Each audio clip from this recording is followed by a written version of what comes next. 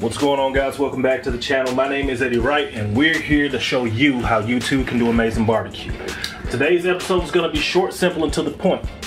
Steak, ribeye, on the Green Mountain Grill, over grill grates, cherry pellets, over grill grates, hot and fast. Tried to do this before without enough luck, but now after a little bit of research and fixing some things that we had in error on our side, we're gonna go ahead and give this a second try. Starting off with a simple ribeye from Costco, we're gonna season it up with a little bit of Killer Hogs TX Rub, which is basically SPG. Let's go.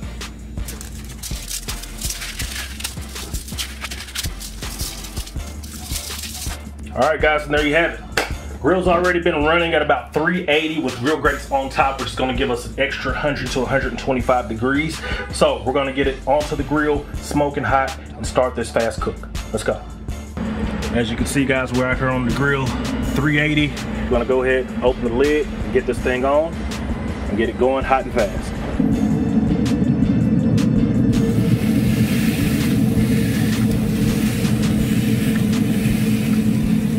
All right, we're gonna drop the lid, count for two minutes, open back up, flip it. All right, two minutes is up. We've got an insulated glove on. We're gonna open the GMG and rotate.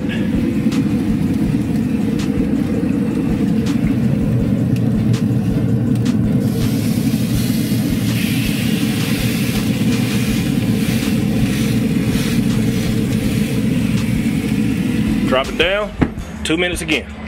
One of the great things about cooking a steak is the excitement. Making sure you're waiting the amount of time that you're supposed to wait. And for those of us who like great cross hatches, praying that you got the angles right to make sure you got it correct the first time. So let's see what we got. Two minutes up, we're gonna pick this one up and flip it.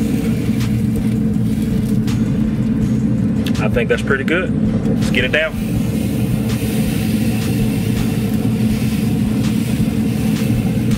Close the lid back down, two minutes on the timer.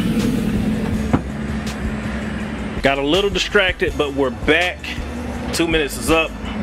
Gonna open up, flip one more time. Great cross hatch. We're gonna rotate 45 degrees. Press down. Keep the smoke rolling. Ah, but before we do, let's go ahead and take our tip and see where we are. We want to be around the 145 mark because we like a nice medium steak. Currently, we're not even close, so we're just gonna let this thing roll. Be right back. Progress update. Let's lift the lid. She looks great. Back up. A little less smoke release. That's what we like to see, boys and girls. Back down, let her finish out. This is a ribeye.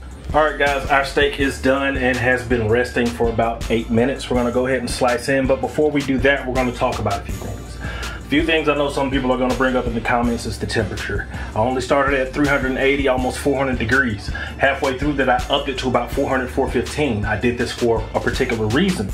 Um, I've had an issue in the past with flare-ups while having the downdraft attached to my GMG. I was able to fix that issue by doing a very good burn off and finally being able to do 400 degrees plus without flare-ups. So I wanted to do this grill at high heat 380 plus to see if I could pull off two things, great grill marks and a hot and fast steak. Now round time was about 15 minutes.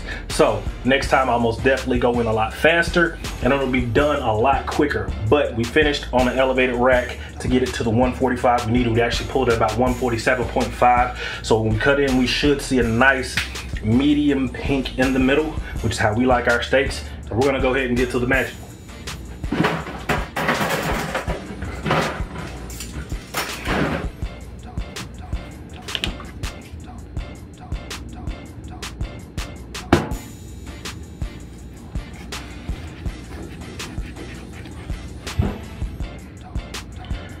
That's what we wanted. Nice medium steak in the middle, guys. So as you can see, nice, amazing rose center, medium 145 plus. Didn't ride it too far. It's the other side. Really juicy on the interior, as you can see. We're gonna go ahead, get some slices in.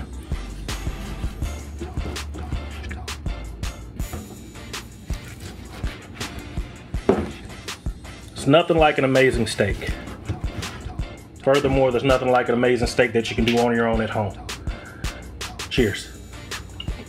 Amazing taste, good crust. Simple SPG, Killer Hogs Texas brisket rub. An amazing end result, guys. I'm very happy about this. To be able to accomplish it the way I wanted to. Next time we'll go higher heat and go a lot faster and probably end up with an even better steak. So this is us doing our due diligence and learning how to do steak better. We're not an expert, we're most definitely pushing for greatness. That being said, thank you guys for tuning in. Until next time, I always come back every Tuesday and Thursday, and sometimes Fridays and Saturdays, and always remember, you too do amazing barbecue the right way. See you next time.